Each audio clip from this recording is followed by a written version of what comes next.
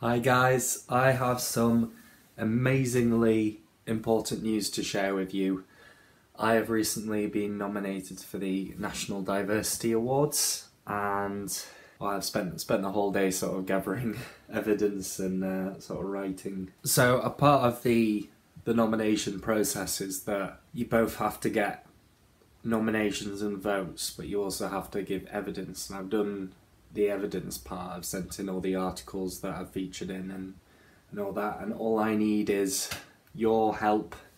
Just a few little clicks, a few little uh, testimonials, and it could mean that I possibly go on to be shortlisted for this award, which would be amazing. So I'll just show you how to do it if you don't already know.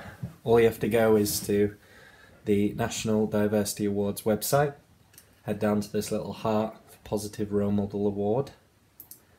Click nominate and then go to disability. Click the disability lock.